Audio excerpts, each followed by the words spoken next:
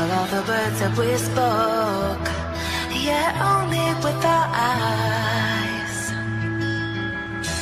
Now is the time to choose.